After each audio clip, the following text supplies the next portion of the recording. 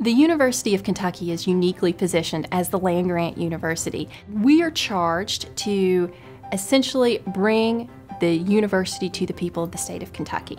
And so we operate with a tripart mission to where we do research as well as teaching and outreach or extension education.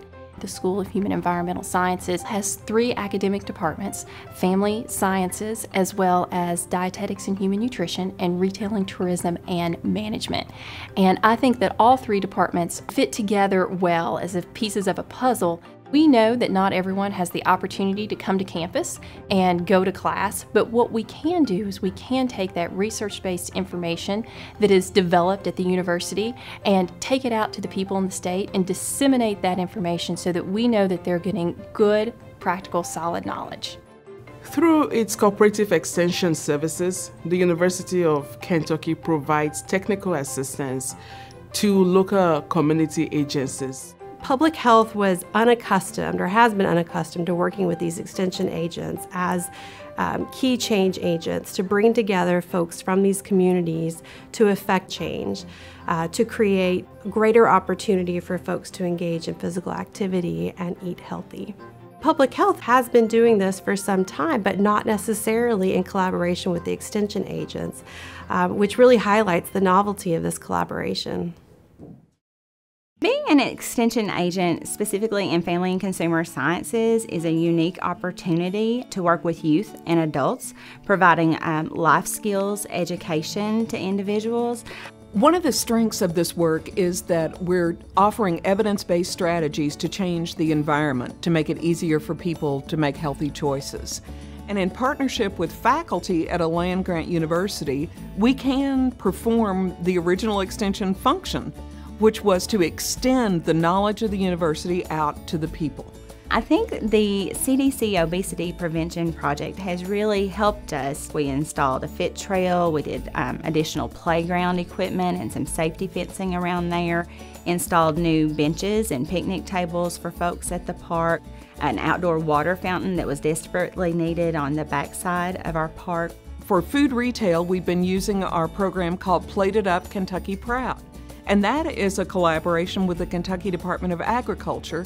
We have really tried to work with grocery stores to think about the appearance and the access of fresh fruits and vegetables.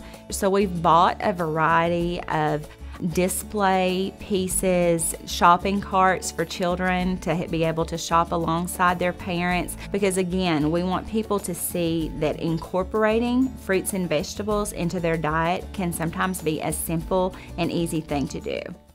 The University of Kentucky has been very successful in collaborating with local community agencies in Clinton County. The university has an exceptional staff at the Extension Office we have the FCS agent, the AG agent, the SNAP assistant, and the 4 H agent working together as a unified body to achieve a common goal. And that goal is to make Clinton County a healthier county. The goal of SNAP-Ed is to improve the likelihood that persons receiving SNAP benefit will be able to make healthy food choices within their limited budgets and that they will be able to adopt active lifestyles. That is not something that SNAP-Ed can do single-handedly. The purpose of the Rural Child Poverty Nutrition Center is to administer and provide support to 16 different organizations uh, working in areas of high need and with very little infrastructure to improve coordination between nutrition assistance programs, particularly those that uh, influence children. The Rural Child Poverty Nutrition Center program has really made a difference in our community. We have been able to focus on summer feeding program to enhance the Bus Stop Cafe, which delivers both breakfast and lunch to students throughout our community. My hope for when the center finishes its work is that the Rural Child Poverty Nutrition Center coalitions continue to work collaboratively together to break down barriers to child nutrition and also sustain their strategies that they've implemented through the program.